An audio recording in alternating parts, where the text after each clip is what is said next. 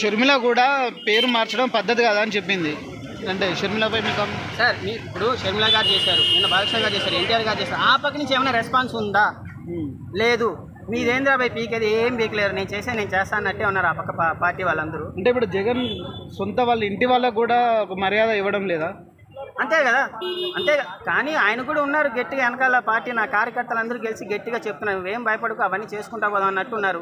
ఒకటి సార్ నేను ఒక్కటే చెప్తా ఒక లైన్లో ఇప్పుడు తెలుగుదేశం పవర్ లేదు. పవర్లో ఉన్న వాళ్ళదే రాజ్యం. కానీ పవర్లో ఉన్నప్పుడు మీరు కొంచెం తగ్గండి సార్. వాళ్ళ వాళ్ళకున్న విలువల్ని వాళ్ళకి ఇచ్చేయండి సార్. ఓకేనా? రామారావు గారిని బీట్ చేసే పార్టీ ఏది లేదు. మన మన దాంట్లో మన ఆంధ్రాలో తెలుగుదేశం పార్టీయే. దానికి మించిన పార్టీ లేదు అది ఎప్పటికైనా. మేబీ మీకు లాస్ట్ టైం మీ తండ్రి గారు చేసిన ఒక మంచి పనుల వల్ల మీకు ఓట్లు పడ్డాయే తప్ప తెలుగుదేశం పార్టీని తొక్కేంత లేదు సార్. మీరు ఇప్పుడు ఇంకా ఇలాంటివన్నీ చేసుకుంటూ పోయినారు అనుకోండి.